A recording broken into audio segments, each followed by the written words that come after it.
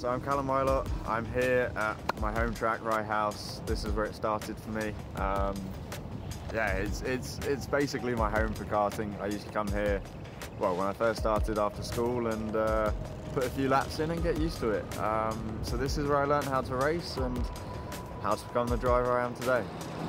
One of the things that I remember being at this track is having all the mechanics lined up here and obviously you're looking for your one telling you what the gap is or to push a little bit more. Um, yeah, it's quite a, quite a weird feeling honestly. I haven't been here in a long time.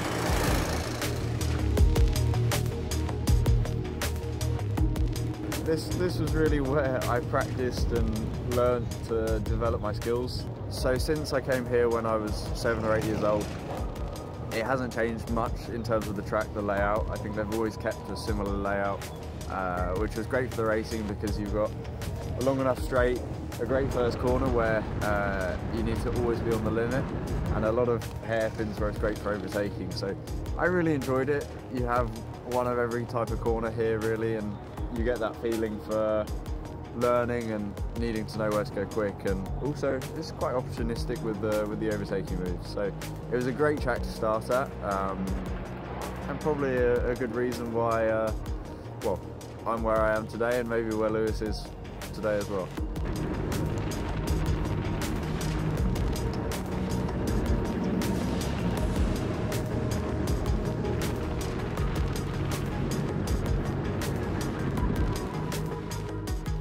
So this is the hairpin uh, where I learned most of my braking skills. At that point, Steve, my mechanic and coach at the time, uh, he basically forced me to brake as late as possible. And the first couple of times, obviously, you, you panic when you're young and uh, go a little bit beyond uh, what was what was probably the ideal line. Um, but then you learn to, to adapt and get as close to the apex as possible, braking as late as possible. Um, I have to say as well that in the races, this was probably the corner with the most carnage. Um, first laps are always a, a, difficult one here to manage, and I've had a few races ruined, but also a few races won by this corner. So it's the best of both worlds, a love-hate relationship. Um, yeah, I, I, enjoyed it. It was one, one that was always great to nail as well in a quali lap.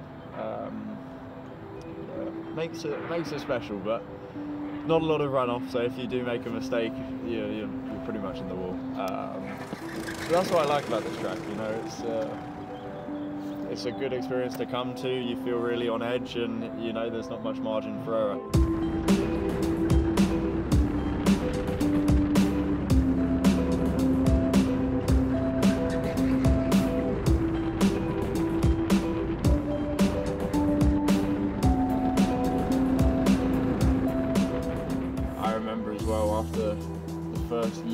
Started racing the British Championships and um, yeah, I was competing with Lando Norris, uh, Dan Ticktum, all guys I've raced with in cars as well now uh, in Formula 3 and Formula 2. So yeah, it's it's where everyone starts. Uh, this is the place that, that I started and um, we'll hear the train go past now, but it's not too loud.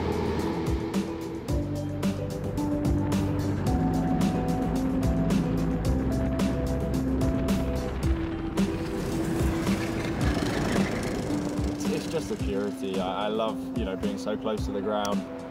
And I think that's what attracted me to this sport being so fast so close to the ground. When you're seven eight years old there's nothing like it. And I just love that feeling. It's like a controlled roller coaster in a way. And you know you can do the same thing every lap. And the competition side of things as well always adds adds spice I guess I went from rental karting, uh, a couple of times rental karting, to then getting my own car and practicing.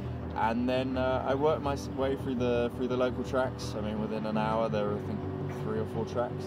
Um, I went from racing one weekend a month to two to three, to then doing British Championships, and then uh, when I was 11 or 12, moving to international racing, um, where I was racing. Uh, I think at the time it was Compare 3 uh, which was a junior car, and then KF, uh, which was the seniors. Um, I went on to win the European Championships, after that, uh, got a call from Red Bull to do Formula 3 the next year, uh, which was 2015. I think I was 16 years old.